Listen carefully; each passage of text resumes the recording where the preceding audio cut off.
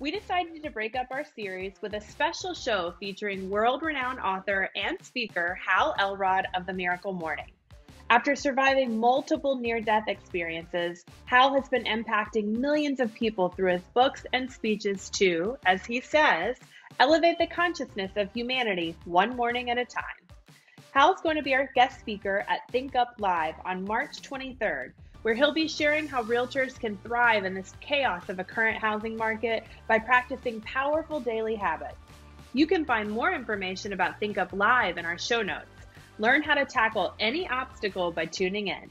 Okay, so let's start here. Uh, for those who have not read The Miracle Morning, give me the basic breakdown of what a miracle morning looks like. Yeah, great question um, or great start. So the Miracle Morning uh, is a, a morning ritual, and it's also kind of a life philosophy in one. And the premise of it is that if you think about how you start your day, sets the tone for how for the rest of the day. It sets the context. It sets the direction. And in other words, if you have a morning where the alarm goes off, you hit the snooze button three times, right? You're like procrastinating and getting out of bed. You get out of bed with this inner, oh God, I got to face the day right? Like that's who you are showing up to your day with. And your results tend to reflect how you show up. The miracle morning is about waking up every day with intention and purpose and commitment. It's about having a growth oriented, goal oriented morning and dedicating time to become the person that you need to be to create everything else that you want for your life.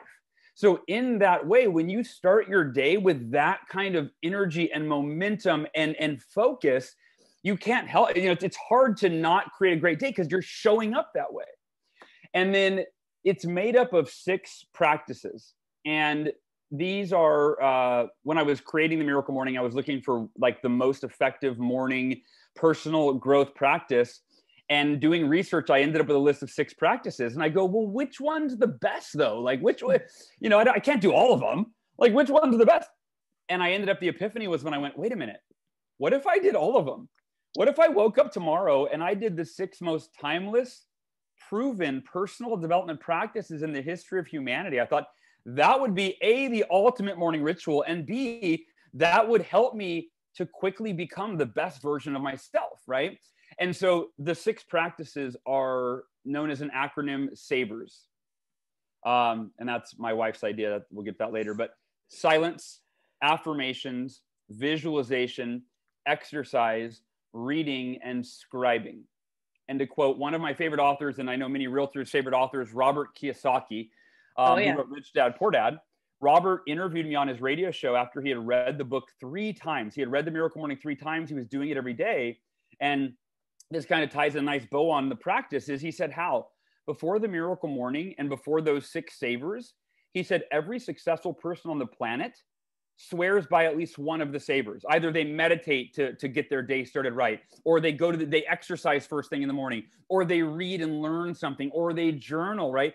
He said but i had never heard of anyone myself included he said himself included uh, he said that did all six of these. Maybe people do one or two three at the most. He said, but when you all six, you do create miracles in your life. He said, I think you named it right. So, so that in a nutshell, that's kind of the whole picture of what the miracle morning is.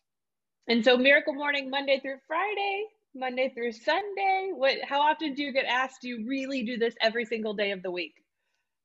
I love that you asked that. I have personally averaged every day of the week for the last, uh, what do we have, 13 or 14 years since I started it. Li- all literally. the gold stars, Hal. All the gold yeah. stars for that. the, the, only and well, now let me be, let me let me be clear. Uh, this is a question that we get a lot in the Miracle Morning community, sure. uh, the Facebook group, and it's hey, you know, hey, I'm new to this. Like I've been doing it Monday through Friday. Does anybody do it on the weekends? You know, and the the answer is almost always consistent across the board for anyone that's done it for a while, and it's the same as same as my answer, which is at first I did it Monday through Friday and just because we're conditioned as a society, no, Saturday you sleep in, you do nothing, you're lazy, right? And same with Sunday. And so what would happen is I'd feel amazing Monday through Friday. I'd wake up, I would meditate, I would journal, I would exercise, I would do affirmations, I would visualize, right? I would create the perfect day. And then Saturday I'd sleep in and I'd wake up at, you know, eight or nine or 10 or whatever. And I'd get out of bed and go, eh, mm. like compared to how I feel right now, compared to how I felt yesterday at this time, radically different, right? Because how you start your day sets the tone and the context and the direction for the day that you create. So most people, myself included, started with five days a week and then went to six days a week and then went to seven days a week. And I want to, I'll qu- close this out by quoting Oprah Winfrey. And I'm going to probably butcher the quote, but the general idea. She said, um, I love waking up early and being productive on a Saturday morning because it doesn't come with the same time pressures that the mm. weekdays do. And mm-hmm. so my mm-hmm. favorite miracle mornings are on the weekends because I wake up and I'm like, I get to do the miracle morning and then I don't have to jump into work. I get to just wait till my kids come down and, and we just engage and play. Right. Like it's such a free day. And so, yeah, I do the miracle morning seven days a week, and most experienced practitioners do. But at the same time, if you do it, you know, four days a week, it's still going to change your life. You don't have to do it seven days a week. Yeah, I think that's interesting too, as both a parent, but also somebody that believes that you have to take care of yourself if you're going to take care of other people, be it children, be it colleagues, friends, family, yeah. whatever. That, like, if the point is to set your intention and be your best self for that day, then Saturdays and Sundays are for you anyway, or they're for your kids, or they're for your family, or whatever it might be. And why are we not putting the same energy into being our best, having our best day those days also? But we really don't as a society. Yeah. We we value the weekends in a different way. Yeah, and, and lazy's not always best for us, right? What'd you say? Lazy's not always best for us, or slow is not always best for us. Yeah, I mean, there's nothing wrong with. Yeah, there's nothing wrong with taking that that slow time. In fact, it's I think it's crucial.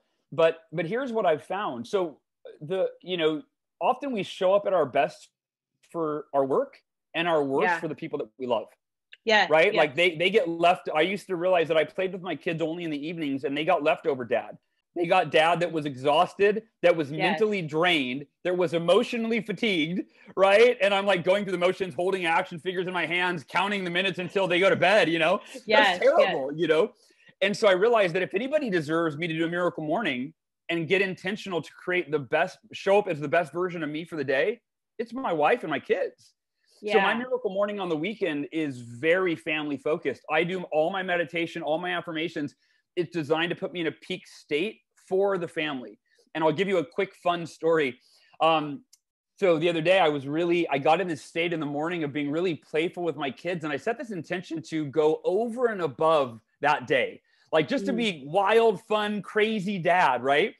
And it, it I don't know, you know, talk about like the law of, I don't, I don't even know what, but my, my, my, my daughter, I went up in the morning, they were in the playroom and I said, Hey guys, I didn't even hear you wake up. And she goes, dad, remember that one time when you like uh, you role played and you you put on a wig and you pretended you were like a little old lady and you shopped in the playroom and we sold you stuff. I go, yeah, yeah, I remember that. She goes, will you do that again? And I go, I'll be right back. And I go, okay. My intention was set that morning to go over and above what they expected. So I went into my wife's closet. I put on a dress. I grabbed the Halloween wig. I grabbed, and then I, I saw my wife. I'm like, okay, let's get, let's make it good. I grabbed my wife's lipstick smeared it all over my face and nose and like just just ridiculous, right? And then I I burst open the door to my kids and I'm like, "Hey kids!" And I just go and like my and and the greatest sound to a dad's ear. My my daughter's like, "Dad, you are um, I can't even believe you're the greatest. This is so great." And I'm just like, right, my heart is just warm and but again, if I hadn't done my miracle morning that morning, right? And, and, and been so intentional with how I was going to show up for my kids, I wouldn't have shown up that way. And imagine that that's what the miracle morning does for you is you get to be that intentional with how you show up to every single aspect of your life every single day of your life. Yeah. So but but there is this balance right between like truly being tired and finding time for the sleep. And how how are you you know like we think of saturdays as the day to catch up because we spent all monday through friday. Go go go go go go go so, how do we balance between hitting your stride right for the day and then also giving back what you need in terms of rest and recharge? Yeah, great. It's a great question, and I definitely I don't think that I'm gonna my my my opinion, my experience here is that we shouldn't live our life so that we have to recharge on the weekends. That's my thought. Uh, is that we should live relatively balanced throughout the week, and um, you know, I used to in 2000, you know, five, six, I was a workaholic. In fact, for longer than that, but anyway, I was a workaholic. And this is before I had kids. And mm-hmm. I would work until 9 p.m. And then I would get off and I would like watch TV with my my wife, now my wife, my girlfriend at the time, right? watch TV with her for an hour and go to bed. And then one day, she it was kind of a new relationship, so she didn't want to step on my toes. But finally, she was like, "Hey, I'd love to see him more than an hour a day. Like we lived together at the time, you know, and um, we were pretty serious. And she goes, "Is there any way you don't have to work until nine every night?" You know, and I loved my work, so it didn't even feel like work to me. And so anyway, long story not too long, I uh, I, I just decided I go, okay, you know what? I committed to her. I go, I'll start getting off at seven. And she's like, great. And guess what? Every day at seven, and seven, by the way, went to six, which then went to five, and now it's three because that's when my kids get out of school, and I don't work when they're out of school. Um, Here's the thing: every day at seven, or now at three, I had way more work to do that I could have kept working on. I could have talked, I could have justified why I should keep working because I have more things on my to-do list than I can possibly do. And it reminds me of a J- great quote from a Jason Mraz song. He simply said, life is for living. Mm. You know, and we we've been conditioned, we've been brainwashed by our society, uh, by our leadership. I mean, you know, by whoever, right? Into thinking that no, life's for producing, life is for working, life is for getting ahead, life for making more money, life for making the most of every possible second. Like, no, life's for living. Yeah. And you get to your deathbed, you're not going to look back and be like, man, I'm so glad I worked my butt off what I think our realtors are experiencing in the market right now. So we're in a housing market that literally has almost no capacity. Agents are working harder than they've ever worked to put a deal together to serve up somebody's, you know, most innate needs, the need for shelter, and especially during through the pandemic and in terms of our our focus on home. Um, and they're, you know, they're working, working, working, working, like white knuckling it through every day just to try to get a deal done. But and and what I'm thinking is you're telling them, well, hey, the work's gonna be there tomorrow. But they're they're an eat what they kill industry, right? Yeah. So how do they balance between yeah. meeting their basic needs and then managing through, you know, not being a workaholic? That's really hard. Yeah, no, and I'm, I'm so glad that you didn't just take my first answer and that we're diving a little deeper because this is important. Sorry. No, yeah. no, this is so good. Um, so, so yeah, so my thought on that is that I do believe there are times to be intentionally out of balance, right? There are times to strike while the iron is hot, and and and especially in real estate, I will say, and so I have there's two answers to this. Um, but the first one is that uh, yeah, the market's not going to be like this forever, right? now is the time to maximize and to really save and create that emergency fund create that six months of of you know right like create that cushion so that when there's not as much to hunt as you mentioned right then then you know you you you, you balance that out right you're not spending everything that you make and i saw that in 2008 i have a friend who was making a million dollars a year as a lender and um and and he spent dude and he had you know he had the house he had multiple cars he i mean you know, he had a Bentley, he had a Rolls Royce, he had all the things, right? And then the market uh, it crashed in 2008, and he he had not he had not he was living he was spending everything he was making, right? You know, and then he foreclosed on the house. So so keeping that in mind, really taking advantage of this time now. But here's the here's the point. So that's the macro. The micro is go to bed 30 minutes earlier to wake up mm-hmm. 30 minutes earlier to dedicate time to nurturing yourself. Care enough about your mental, emotional, physical, and spiritual well being to wake up and, and, and have that morning, you know, whether you call it your miracle morning or whatever, have that morning time. So it's not an either or. It's not a, well, the market's hot, so I got, I don't have time for personal growth. No, it's the market's hot. So I'm not going to watch Netflix as late at night. I'm just going to, you know, I'm going to, I'm going to binge for 30 minutes less to wake up 30 minutes earlier and, you know, do a few of the miracle morning practices. Yeah, that makes perfect sense to me. I want to talk a little bit about how you came about at this practice, at this at building this ritual. And my understanding is that it came through your own personal trauma, through health experiences that you'd had. And I can share a little bit about my own trauma and maybe we can connect on this front. But yeah. I have a, a six year old now who had a kidney transplant just shy of two years old, two weeks before he turned two. And the first two years of his life were totally traumatic. Dialysis at home, very, very sick, made his way. Now he's a rip roaring nutball six year old, which nice. is a miracle in and of itself. But I know that for me, what enabled my success uh, to, to support him through that was routine. That mm-hmm. if I could anchor, you know, in the things that I could control, that the things that I could not control were less scary to me Yeah. and less overwhelming. And I suspect that maybe some of that was true for you, but tell us more about your experience and how you came at this. Yeah, to be clear, the Miracle Morning wasn't an idea. Like it wasn't a, oh, here's a great book idea. I think this would be really right. This was a very organic. I was, it was 2007 and the US economy started crashing. Um, I, I'm what you would call a delusional optimist, right? Where I'm just like, I, I've, I've learned from that mistake. I'm a little more realistic now, but I used to be like, people would go, dude, the, you're watching the news? The economy's not looking good. And I'd be like, I create my own economy. I don't live in fear, blah, blah, blah, right? you know and uh, and then all of a sudden it's like oh you don't you know creating your own economy is one thing but if, if your clients i was a coach at the time all of mm-hmm. my income came from one-on-one coaching with salespeople in fact real estate agents business owners right? And so all of a sudden i start getting you know i got my first phone call hey hal our economy our, our industry is really hurting. I can't afford to pay for coaching anymore. I'm like oh, oh okay. Yeah no problem. I'm you know do what's best for you.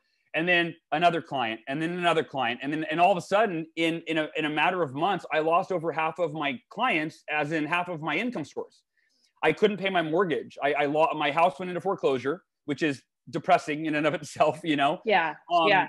i was living on credit cards where i went from being debt free like every month i was paid off to i had $52000 on my credit card for groceries and gas and you know just living Mhm. and I got really depressed and really scared and, and like I felt like I was drowning in quicksand. And a series of events led me to listen to this Jim Rohn audio. And I'm going to share the quote that changed my whole life because for some people listening, this may be a quote that you know is, is a game changer for you. Uh, Jim Rohn said, "Your level of success will seldom exceed your level of personal development because success is something you attract by the person that you become." Mhm. I'll say it again. Your level of success will seldom exceed your level of personal development because success is something you attract by the person you become. And in that moment, it like it hit me and I went, okay, that makes sense. So if you develop yourself into with the knowledge and the confidence and the habits, right? Then you're naturally going to you're going to just attract or create the success that mirrors who you're you're becoming, who you've become. And I quantified it. I went, and everybody listening, you can kind of quantify this for yourself um, or watching on a scale. And I'll ask you this, it's kind of a rhetorical question. we would play along, okay? Um, on a scale of one to 10, if we are measuring success in any area of our life, our relationships, our health, our finances, you name it, on a scale of one to 10, 10 being the most successful, one being a failure, what what level of success do we all want? Oh, 10 all day long. Right? Yeah. Yeah. I've never met anyone that's like, eh, I don't want to be too successful. Yeah. Like I just want to be like a six, seven. But thanks. Yeah. yeah, yeah, yeah. No, like one thing that human beings share in common is we all have unlimited potential and we have this deep innate desire to fulfill that potential. Now, we also have the ability to fulfill the potential, but most of us have it's blocked by fear. It's blocked by insecurity. It's blocked by self-doubt. And so we all level 10 success. And in that moment, I listening to Jim Rohn's quote, I quantified it. I went, so if I want level 10 success, what's my level of personal development right now and at that time i was i was depressed i was stressed i was work i was working till 9 p.m not getting results Yeah. i was like i'm at like a two maybe like a three on a good day and that's the disconnect is we all want level 10 success but for most people how, the, the level of development that we are fully engaged with and committed to doesn't match that and so that was when the epiphany I went, I'm going to go home and I'm going to Google what do the world's most successful people do for their personal development. And I'm going to figure out the one or two practices that I could do every day to quickly become a level 10 person so I can create that success I wanted. And then, as I mentioned earlier, I had a list of six practices, right? And I'm going, well, which is the best? And what if I do all of them? You know, and right. And the next morning I woke up and I, I, I always say this, it's very true. I sucked at all of them. Like I had never meditated before. Like Yeah. affirmations, I- you know, I googled on the internet and they were really goofy. Like I'm awesome. I'm I'm I'm a millionaire. I like no, I'm not. But I'm uh, you know, it was just like just like kidding yourself. You know. So I sucked at the practices, the savers, if you will. Um, but even doing a you might call it a mediocre morning that morning that first day, I felt like, wow, if I start every day with this much clarity and motivation and energy and gain this knowledge, it's only a matter of time before I become the person that I need to be to create what I want for my life. And that's what the miracle morning does for you, right? And so we're the last thing I'll say is it's universal. If somebody's like like we just had a documentary come out for the Miracle Morning movie. Um, yep. Mike Keaton is in the movie. He lost 90 pounds, right? I didn't write the Miracle Morning as a weight loss book, but he's one of thousands of people that applied their Miracle Morning to the mindset and the habits and the discipline they needed to lose weight, and then they did. Other people apply it to increase their income, and then they do. To improve their marriage, and then they do, right? So yeah, so that's the essence of you know how the miracle morning, how it applies, and where it came from me. And, and one last thing, I know famous last words. The reason it's called the miracle morning, it didn't have a name. I was just doing this morning practice every morning, and it, within two months of doing the practice, I more than doubled my income. And I want to put really important to point out this was in 2008 in a declining economy. So I want yeah. you to consider. I know a lot of people, you know, for those some people, not a lot, a lot, think about, oh gosh, when the economy crashes, what am I going to do? What's the future hold? There's so much that's out of my control. And I'm living proof that even if the economy gets worse, as long as you continue to get better, you can create any kind of results that you want. And because I doubled my income in that time, I started training for an ultra marathon. I went to my wife and I go, sweetheart, this morning routine has changed our life so dramatically in two months. It feels like a miracle. And she goes, It's your miracle morning. And I go, Yeah, I like it. And like that's where it was born. And then I just started t- teaching my coaching clients. And, you know, now it's, you know, 12 years later and it's, uh, it's, it's still finding new people every day. Yeah, so you're speaking though to the the purpose of the savers as as offering intention for your day, right? And being really deliberate about where your focus is, what what you're going to make happen for that day. How much of that intention drives through the remainder of your day? Do you have other routines that you circle back to? Like how do you close out your day? What is it just the morning or what happens at morning, noon and night? What I find is that the morning is it's kind of like going to the gym for your mental and emotional and spiritual capacities, okay? Mm-hmm. So here's what I mean. You don't you don't go to the gym just to go to the gym, right? You Most you days. yeah, yeah, yeah. You but but ultimately if you're if you're exercising, you're doing it to either get stronger, to have more physical stamina, right? And so when you leave the gym, you know, if you've been working out for a few weeks, right? You the strength is there when you need it to lift something at 4 p.m., right? The stamina is there when you need energy throughout the day. And so in the same way, the miracle morning, and I'll, I'll give you some example. I'll give you one example. So silence is the first S in Savers. And okay. silence is your meditation time, it's your prayer time, it's your just simply quiet time, your con- contemplation, right? Your deep thinking time. Um, you know, I believe that our the greatest wisdom that's available to us at all times, whether you believe it comes from God or your subconscious or collective intelligence or whatever, um, that comes in silence. We don't hear that voice when we're looking at our phone. We don't hear that voice when we're talking and driving and doing things, right? It's when we're sitting in. That's why the voice usually shows up in the shower or it shows up at night when you're falling asleep. Yeah. But it's beautiful to start your day by going, breathing and hey, what do I need right now? What do I, who do I need to be? How do I need to feel? And I'll tell you my favorite form of meditation. I call it emotional optimization meditation. And this mm. speaks directly to your question about is it just the morning or does it affect the rest of the day? Or so here's how this works. And if anybody's taking notes, you might I'll, I'll give you three really simple steps. Okay. Step one, identify which emotion would best serve you right now. Identify which emotion would best serve you right now. So ask yourself, what emotion would best serve me right now? And, and right now might be today, it might be at this time in your life, right? Like if you're going through a mm-hmm. stressful time, you're like, man, I need I need to feel peace inside, right? Or I've been unhappy. I need to feel happy. So choose the emotion that would best serve you during this time in your life or on this day. And then step two, uh, identify a stimulus that will bring about that emotion for you. So the stimulus could be a memory. Well, the last time I felt happy was blank. All right, let me think about that. How did that feel? remember that, picture that, imagine that. What did that look like? What did that feel like? Right? And get that feeling, embody that emotion, Go back in time if you need to, right? It might be if I want to be happy or grateful, I just think of my kids, right? So I don't have to go to a memory. I just literally picture their faces and I'm like, ah, I just get happy. Um, right. So I mean, I feel it right now. Just just thinking of them, I got happy. So the point is you identify the stimulus that will bring about that emotional state. And then you set your timer to meditate for five minutes or 10 minutes or 30 minutes, whatever you want to do, right? For me, I usually do about 10 minutes of meditation every morning. But I just sit there and I, you know, for lack of a better word, I, I marinate in that emotional state. And here's what's happening from a scientific aspect when you're doing that. You're literally creating and reinforcing neural pathways in your brain that make that emotional state, you're hardwiring it into your nervous mm-hmm. system. Mm-hmm. And now you have access to it at any at 2 p.m., at 4 p.m., at 9 p.m., whenever you want. You just yeah. close your eyes, get back into that state. And just like going to the gym, if you go exercise once, the strength